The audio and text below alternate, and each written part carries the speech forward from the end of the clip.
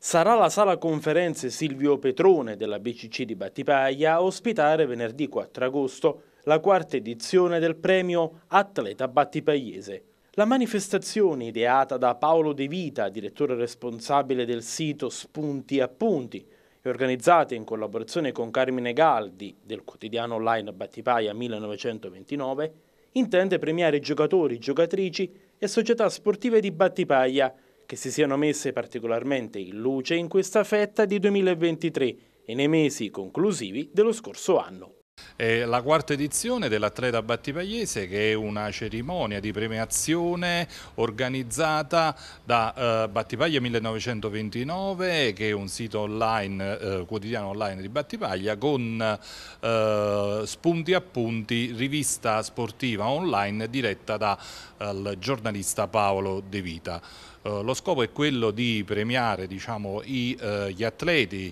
e le società che si sono distinte nel corso dello scorcio dell'anno 2022 e dei primi uh, sei mesi dell'anno 2023.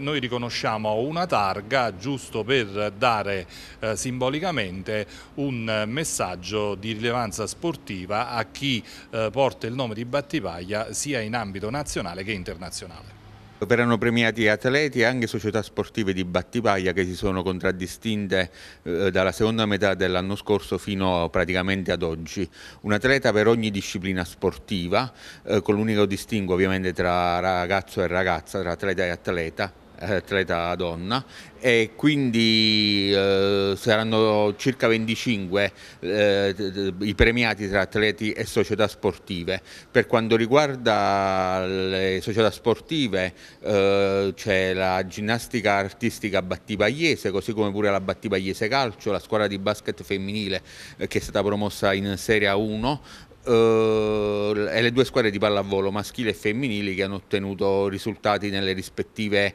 uh, categorie. Per quanto riguarda invece i singoli atleti, la guest star della serata sarà certamente Peppone Grimaldi, l'indimenticato pivot delle casse rurali campane polisportiva Battipagliese, che eh, contribuì in maniera determinante alla vittoria del campionato di Serie B2 proprio quest'anno che cade il trentesimo anniversario di quell'evento che galvanizza tutto il Palazzauli.